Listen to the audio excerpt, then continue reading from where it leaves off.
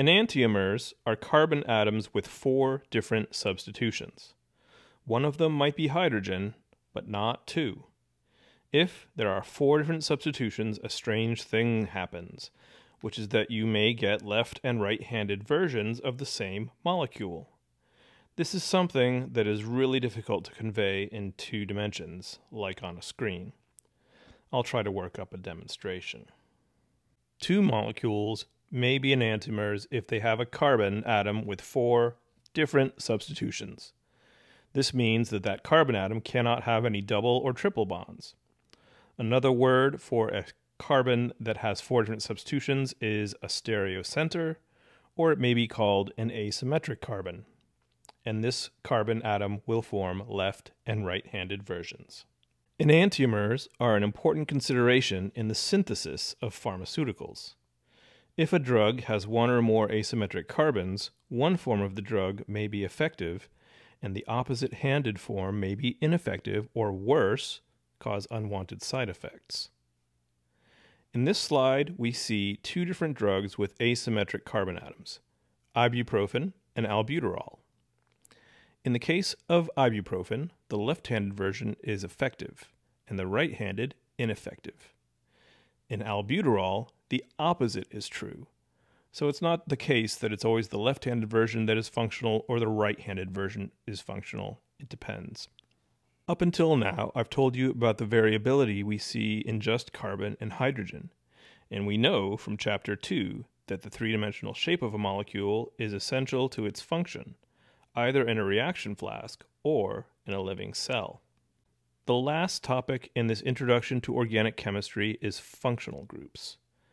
Living molecules have a few important components that increase the complexity and the need for order and increase the functionality of these compounds. There are seven important wink functional groups that you should recognize, as we'll be seeing a lot of them for a while to go this semester.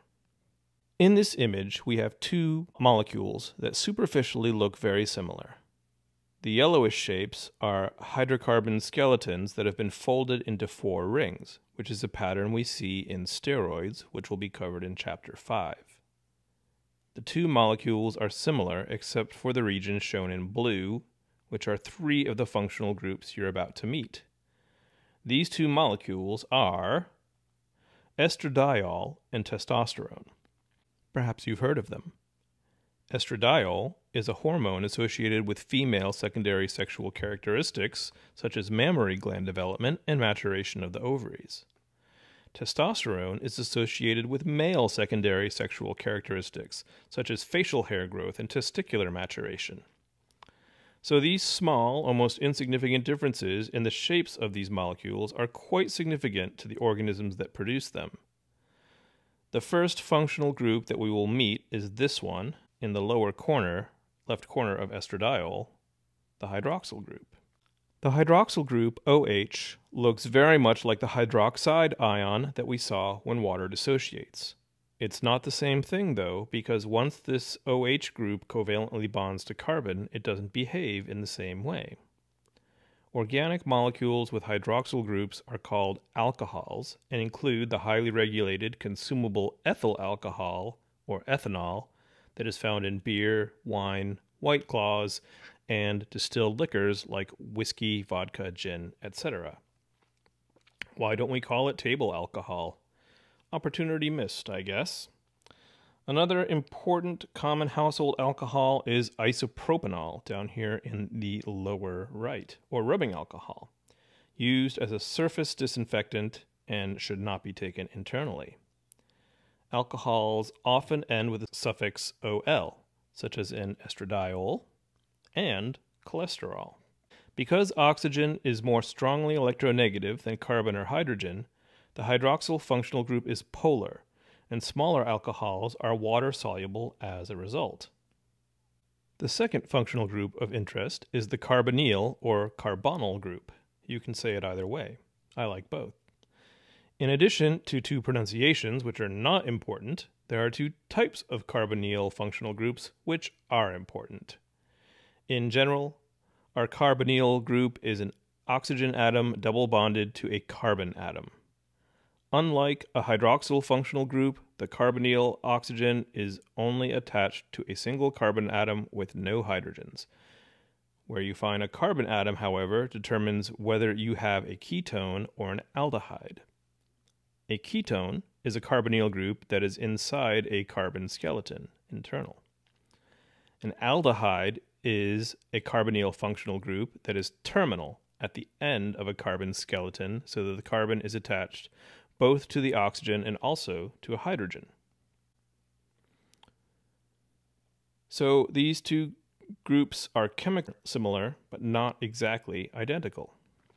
Here you can see two examples of a carbonyl functional group, one of which is a ketone, and the other of which is an aldehyde.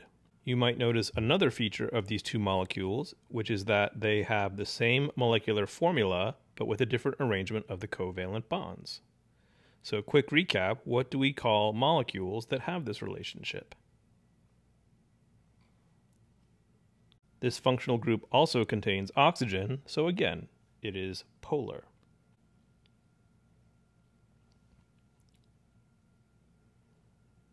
Here are some examples of ketones that have biological relevance. Acetone is the simplest ketone and is a common solvent and an ingredient in nail polish remover. Testosterone, which we've already seen.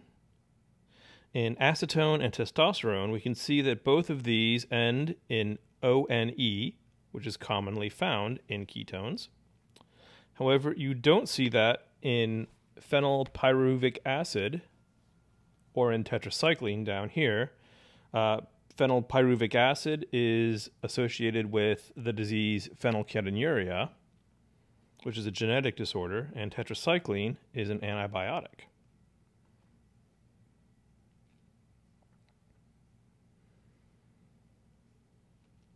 Aldehydes typically end in Al or in aldehyde. Formaldehyde is the simplest aldehyde, which until recently was used widely to preserve biological specimens, but today we're moving away from its use because of its toxicity. You can probably guess the biological origins of vanillin and cinnamaldehyde. Many pleasant smells are produced by molecules with aldehyde functional groups. Retinal, also known as retinaldehyde, has a third name, which you may have already heard. It's also called vitamin A, don't you see? The third functional group, before we leave oxygen behind for a bit, is the carboxyl functional group. As with the other oxygen containing functional groups, these are polar. This functional group is called carboxylic acids, also known as organic acids. These molecules can be recognized in reading because they usually end in ic acid or ATE. While this molecule might look like the carbonyl and hydroxyl functional groups had a baby together, it sure doesn't act like it. It behaves differently in that the proton on the second oxygen atom can be donated to solution, as acids usually do. This means that you can find organic acids in the non ionized form, as you see on the left here, or the ionized form once they have donated their proton. When they are ionized, they can form salts because they function as anions. This is a very common functional group in living tissue, as we will see in Chapter 5. Here are some examples of organic acids. On the left are a couple of short chain fatty acids. While aldehydes are associated with pleasant smells, usually these two short chain fatty acids are associated with an unpleasant smell. Ginkgo trees are known for producing seeds that have a smell that has been likened to dog feces. Ginkgo seeds contain both butyric acid and caproic acid. Butyric acid is so named because it is the smell of rancid butter, and caproic acid is so named because it is the smell of goats. You mix those two smells together, and I guess you get the smell like dog poop. On the right over here is a figure showing some omega 3 and omega 6 fatty acids. You may have heard of omega 3 fatty acids as a supplement recommended to combat heart disease but we'll talk more about those again in Chapter 5. Our first non oxygen containing functional group is the amino functional group. The amino group contains nitrogen, and the molecules with this functional group often end in INE. While the carboxyl group functions as an acid, donating protons to solutions, amino groups function as bases, absorbing protons from solution. Like carboxyl functional groups, they can exist in both ionized and non ionized states. It seems like carboxyl and amino groups might have a special relationship we should discuss. Yes, they do. Later. Though glycine here might give you a hint. Sulfhydryl groups contain sulfur bonded to hydrogen. Sulfur is a little bit more electronegative than hydrogen or carbon, so this functional group is very weakly polar. Thiols is what we call sulfhydryl containing molecules. Sulfhydryl groups are useful connectors between biological molecules. In proteins, sulfhydryl groups may shed their protons to form a disulfide bridge, a covalent bond that stabilizes protein structure. When hair, which is mostly the protein keratin, is straightened or curled, the cross-linking in the protein is altered. Another example of a connecting molecule is this monstrosity called coenzyme A. This molecule is a real treasure trove of functional groups, but the one I want to bring your attention to is this sulfhydryl group here at the lower uh, right end here. I don't want you to memorize the structure of this molecule, but I do want you to put a mental pin in the name coenzyme A, which you will hear again towards the end of Unit 2. Speaking of Unit 2, another functional group that will feature prominently is the phosphate functional group. A phosphorus atom with four surrounding oxygens might lead you to think that the, the electrons are quite active in this functional group, and you'd be correct. Phosphate groups are a great way to store potential energy in a molecule as well as to build our DNA. These three letters, ATP, will become a daily topic of conversation for most of Unit 2. It stands for adenosine triphosphate, and when the third phosphate group reacts with water, it releases energy that the cell can use to do amazing things. The last functional group is a simple, nonpolar hydrocarbon, the methyl group. This is the one functional group whose presence is indicated at the beginning rather than at the end of a molecule, as you see in 5-methylcytidine.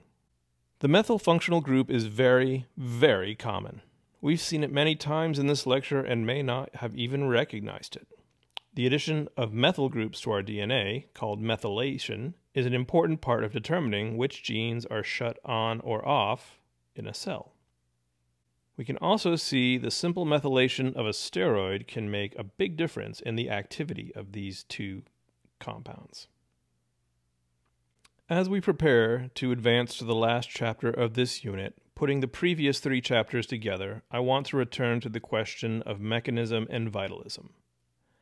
While our technology might not have given us artificial tea Earl Grey hot, like Captain Picard likes it, Hopefully, this chapter has opened your eyes as to why it is such a difficult and complex question. A variety of different problems can arise in synthesis. The length of carbon chains, branching, position of double bonds, structural isomerization, cis trans isomerization, active and inactive enantiomers, and the correct placement of functional groups.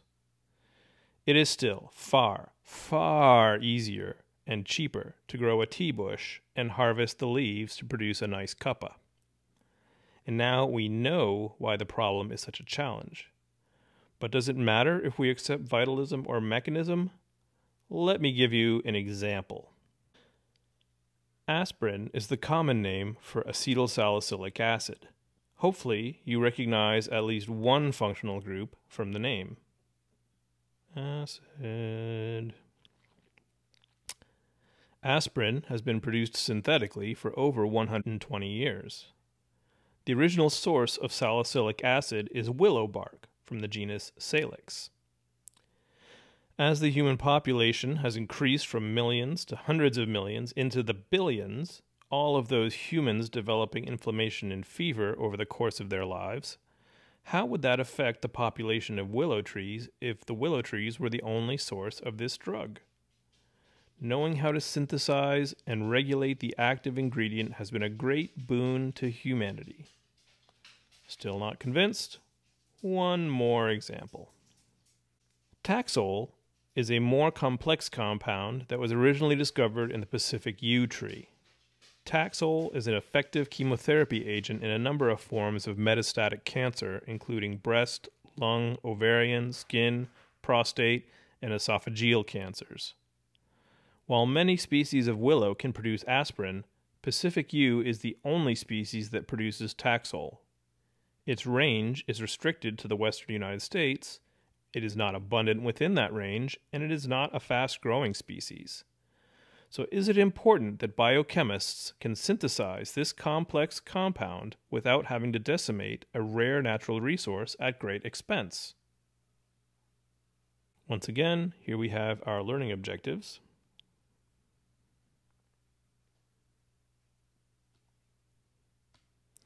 And finally, we wrap up the unit in the long chapter 5, which will be broken down into two parts.